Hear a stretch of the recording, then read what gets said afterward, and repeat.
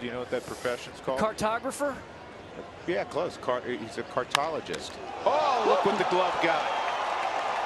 Glove steals a hit from Liriano. That's how it's going for Tyler Matzek tonight. There haven't been many balls hit hard. And about the second one that's hit hard, he gloved. Liriano still looking back.